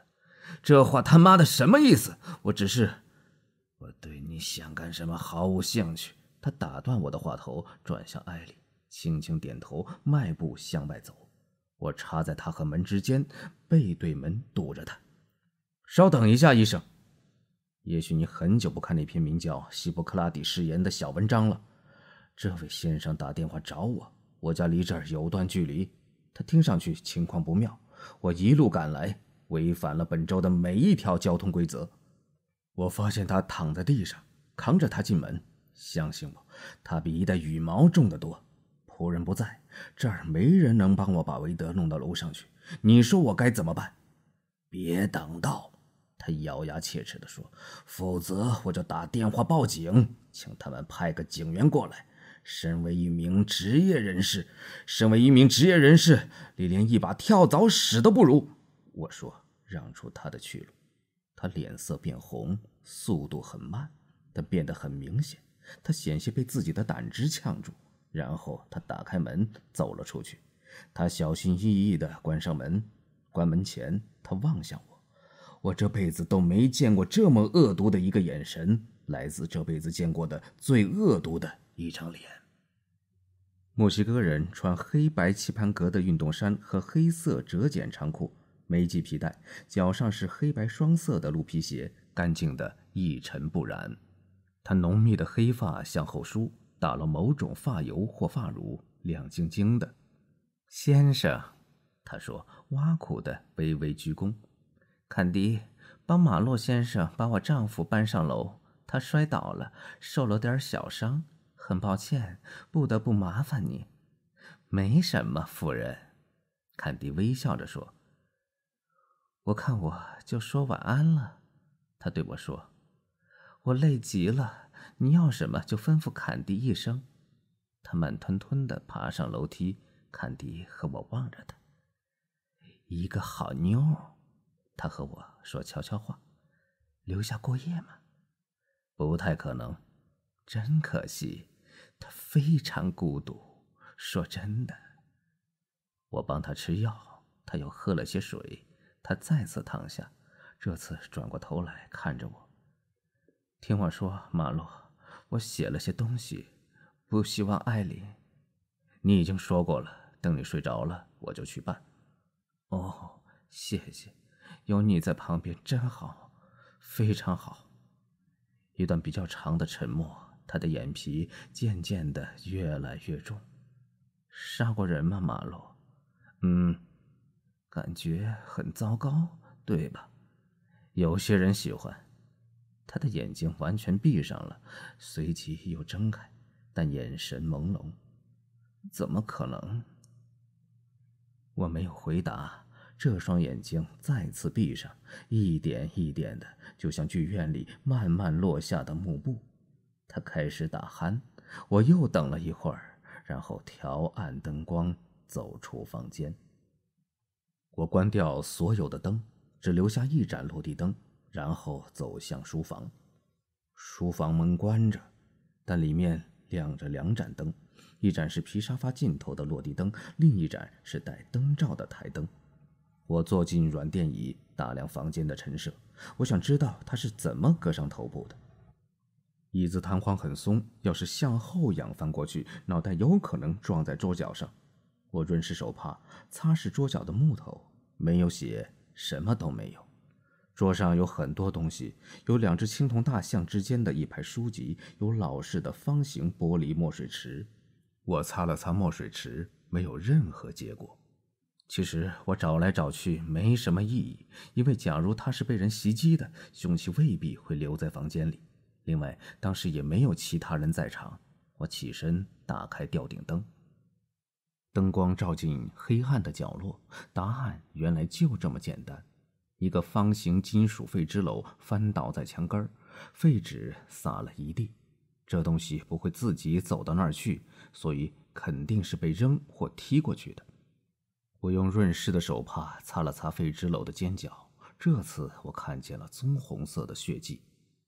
没什么悬疑可言，韦德后仰翻倒，脑袋撞在废纸篓的尖角上，应该只是擦了一下，然后自己爬起来，一脚把那个鬼东西踢到房间的另一头，就这么简单。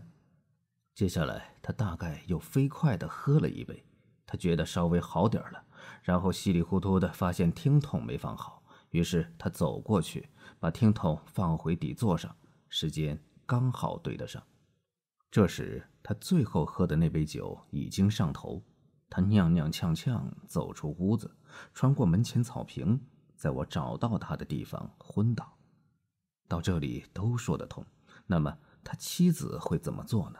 他应付不了他，没法和他讲道理，甚至不敢接近他，所以他有可能请人来帮忙。仆人今天放假，因此只能打电话叫人。嗯，他给什么人打过电话？他打给了和蔼的洛林医生。先前我以为他是在我到来以后才打电话给他的，实际上他并没有这么说。接下来就开始对不上了。按理说他会去找他，发现他，确定他有没有受伤。但按理说你不该发现他站在敞开的门口抽烟，对丈夫的下落只有一个模糊的概念。我还是想不通，但暂时只能这样了。我只能假定他经常遇到这种局面，知道他无能为力，只能顺其自然。因此这次他也该这么做。就这样顺其自然，让他躺在外面地上好了，直到有足够体力的人赶来处理他。但我还是想不通，坎迪和我抬他上楼回卧室，他却告退，躲进了自己的房间。这一点我也想不通。她说她爱这个男人，他是她丈夫。喝醉酒他就变了个人，必须避而远之，因为他很危险。但不知为何，我就是想不通。假如他真的害怕，就不会站在敞开的门口抽烟了；假如他只是怨恨、冷漠或厌恶，就不会晕倒了。肯定有其他的原因。马洛接到韦德的求救，赶到他房间，发现韦德摔倒在地。马洛只好送他去他妻子身边，然后在他跌倒的地方探查。马洛发现很多疑点，甚至包括艾琳。他会找到真相吗？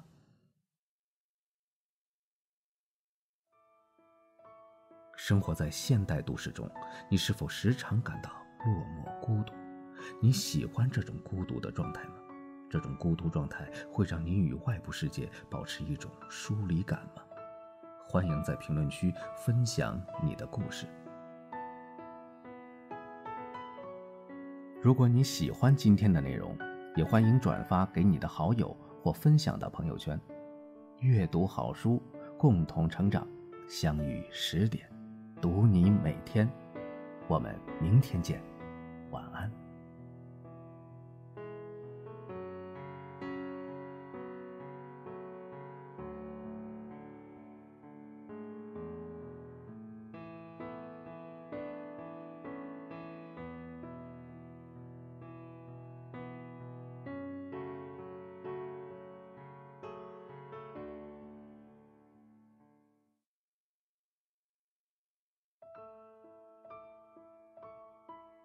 我们读书，然后就不孤单。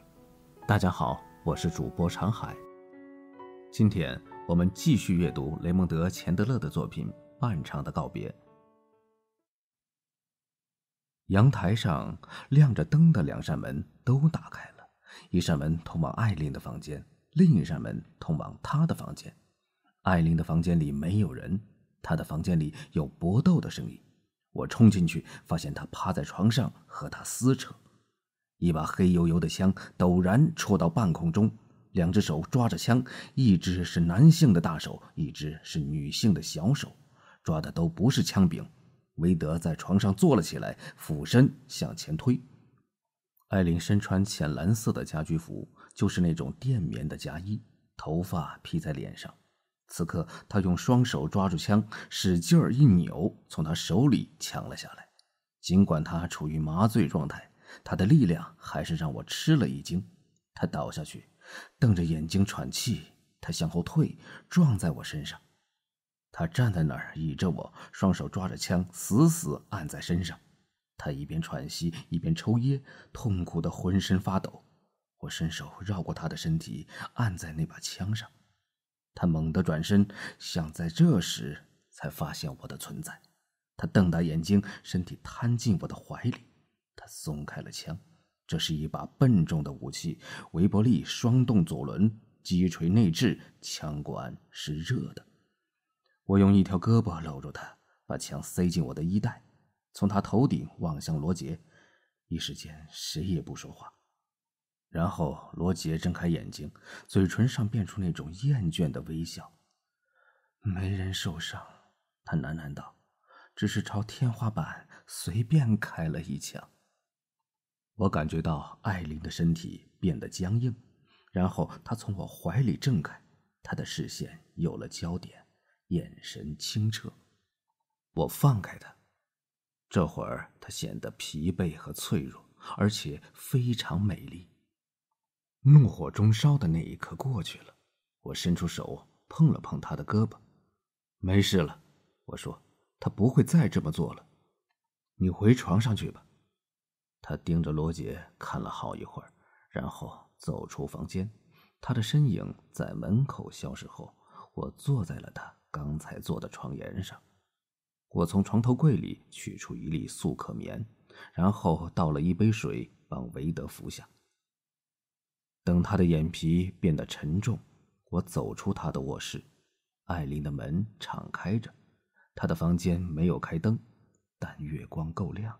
勾勒出他站在门口里面的身影，他喊了一声什么，像是人名，但不是我的。我走向他，声音小点。我说，他又睡着了。我一直知道你会回来，他温柔地说，哪怕已经过了十年。我打量他，我和他有一个在发疯。关上门。他用充满爱意的声音继续说：“这么多年，我一直为你守身。”我转身关上门，在当时似乎是个好主意。等我转过来面对他，他已经扑向了我。于是我接住他，我他妈非得接住不可。他将身体紧紧的贴着我，头发扫过我的脸，他抬起嘴唇等待亲吻。他在颤抖，他张开嘴唇，分开牙齿，舌头伸了出来，然后他的手垂下去，扯了一下什么东西，身上的睡袍打开了，里面赤裸的就像九月拂晓，但少了那份娇羞。抱我上床，他悄声说。我照他说的做，我用双臂搂着他，我碰到他柔软的皮肤，鲜嫩的肉体。我抱起他，走了几步到床边，放下他。他依然用双臂搂着我的脖子。他从喉咙里发出某种气音，然后他翻腾呻吟，真是要命！我硬得像一匹种马，我即将失控。这么一个女人，这么诱惑你，可不是每天都会发生的事情。我回去关上门，这次从外面关上。床上的女人在发出某种古怪的声音。但现在只是古怪的声音而已，魔咒已被打破。我快步下楼，走进书房，抓起威士忌酒瓶就往嘴里送。等我咽不下去了，我靠在墙上喘息，让烈酒在体内燃烧，直到火焰抵达大脑。吃晚饭已经是很久以前了，所有正常的事情都是很久以前了。威士忌的劲头来得既快又猛，我继续对着酒瓶狂饮。房间渐渐变得朦胧，家具颠三倒四，灯光仿佛野火或夏夜的闪电。然后我平躺在了皮沙发上，想把酒瓶在胸口立起来。酒瓶似乎空了，它滚下去，通的一声掉在地上。这是我清楚记得的。最后一件事，一束阳光挠着我的一只脚腕，我睁开眼睛，看见一棵树的树顶在朦胧的蓝天下轻轻摇曳。我翻了个身，皮革碰到我的面颊，像一把斧头劈开我的脑袋。我坐起来，我身上有块盖毯，我掀开盖毯，把脚放在地上。我皱起眉头看钟，钟说还有一分钟到六点半。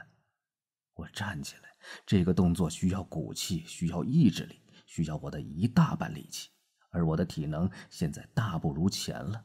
艰难岁月已经狠狠地收拾了我。我蹒跚着走向洗漱间，解开领带，脱掉衬衫，用双手接凉水浇在脸上，然后浇在头上。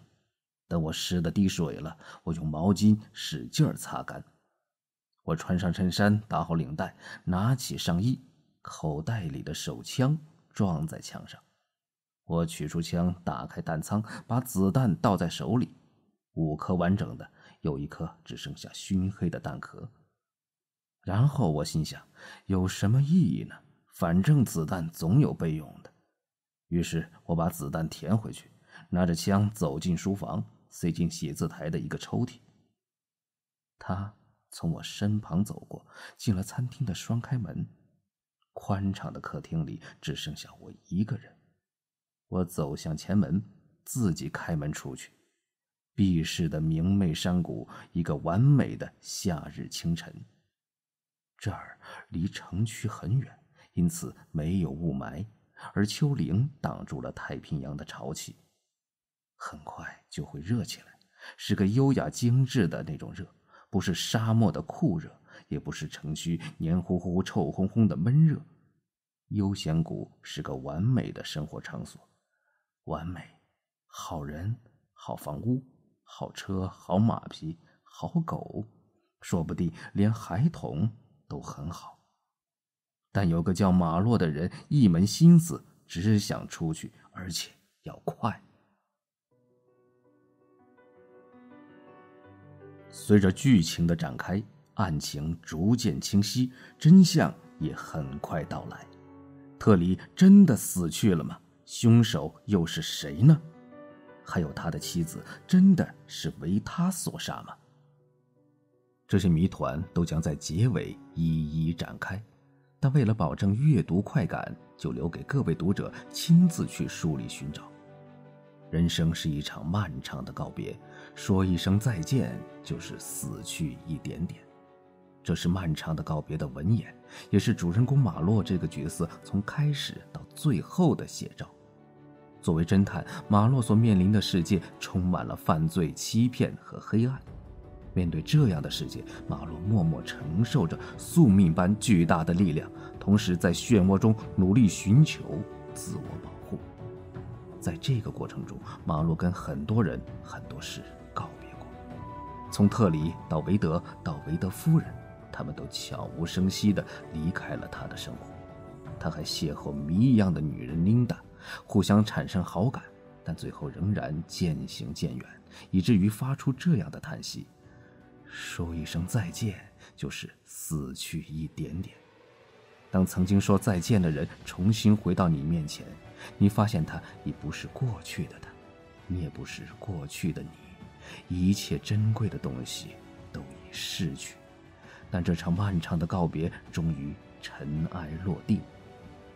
马洛和特里两个一起喝酒的朋友，都不是能被世人接受的那种人，所以他们会心意相通。